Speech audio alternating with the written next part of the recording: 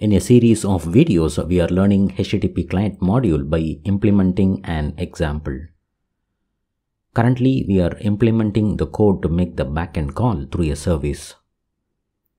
In this video, we will generate the country service.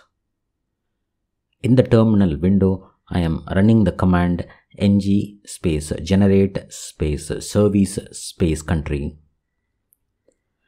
This command will create the service in the app folder.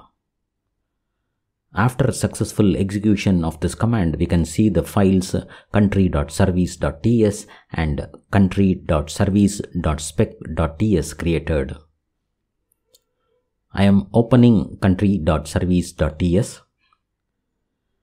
Within the constructor, I am injecting HTTP client class with the property name as HTTP.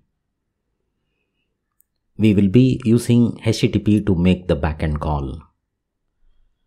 As mentioned in this video, generate the service and inject HTTP client. In the next video, we will start including the function that will make the backend call.